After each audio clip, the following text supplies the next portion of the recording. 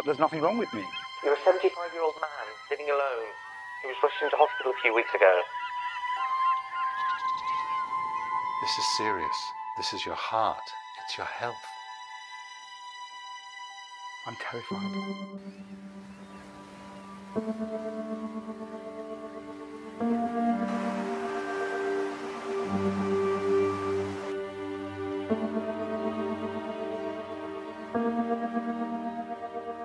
I wanted to get you out of that sweaty little village. I've been looking for someone to rent my spare room to. You have? It's the last fossil my dad ever found, 170 million years old.